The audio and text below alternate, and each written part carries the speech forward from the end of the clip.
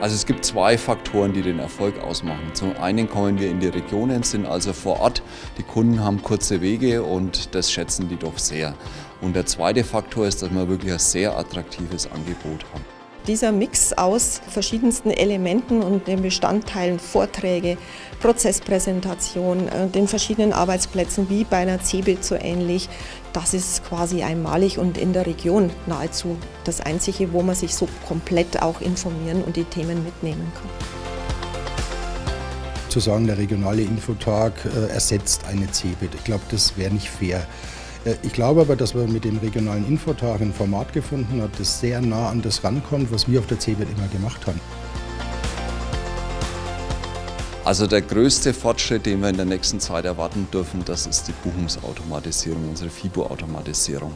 Das wird ein Quantensprung für die Produktivität und Effizienz in der Kanzlei. Und aus meiner Sicht ist es wirklich dieser Aspekt der Buchungsautomatisierung, dass ich zu einer Just-in-Time-Buchführung komme. Also das heißt, in dem Moment, wo ich in einem Vorsystem wo ein Beleg entsteht oder Information oder Datum entsteht, wenn das auch schon verarbeitet wird und damit letztendlich auch die Auswirkungen auf das Geschäft des Mandanten klar ist, dann kann ich an der Stelle auch als Steuerberater beraten und kann meinem Mandanten auch wirklich operativ in seinem Business weiterhelfen. Und das ist wirklich ein Asset, ein strategischer Erfolgsfaktor, den bietet uns eben nur die Digitalisierung und Automatisierung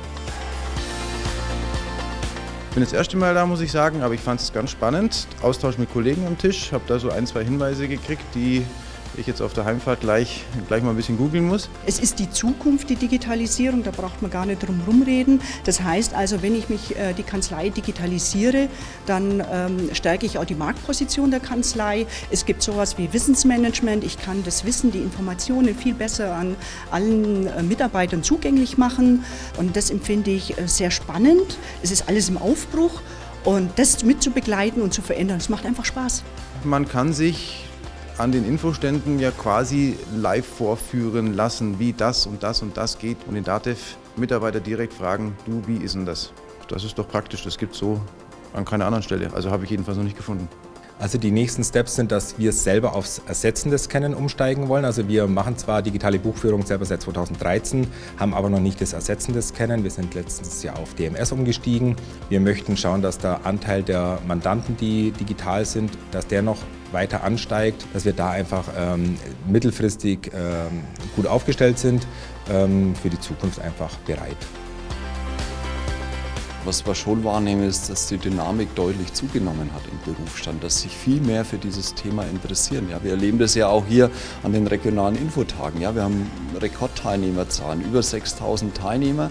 Und wir haben uns auch mal angeschaut, was sind denn das für Teilnehmer? Ja, sind das jetzt nur die Profis, die schon total digital unterwegs sind? Nein, im Gegenteil. Also wir haben zwei Drittel Teilnehmer, die letztes Jahr nicht da waren. Wir haben über die Hälfte, die noch am Anfang mit der Digitalisierung stehen und die sie hier glaube ich, so den letzten Impuls holen wollen, um dann auch wirklich loszulegen und die Kanzlei zu digitalisieren. Uns macht es natürlich glücklich, dass wir die Auszeichnung erhalten haben, ähm, dass sich die Anstrengungen gelohnt haben, die wir so die letzten Jahre äh, getätigt haben. Von dem her einfach nur glücklich, dass wir das erreicht haben. Ja, wir werden es natürlich in der Außenkommunikation mit den Kunden einsetzen, ähm, Website, äh, aber natürlich auch für die Mitarbeitergewinnung. Ich denke, dass wir da einfach das zeigen, dass wir eine fortschrittliche Kanzlei sind. Also was ich total klasse finde, ich halte ja den ersten Vortrag hier, Ihr Weg zur digitalen Kanzlei.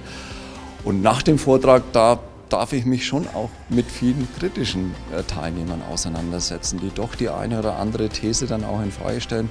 Und diese Auseinandersetzung, die finde ich total spannend, ja, weil man dann auch mal andere Perspektiven nochmal auf das Thema bekommt. Und man lernt da auch immer was dazu und das macht unheimlich Spaß.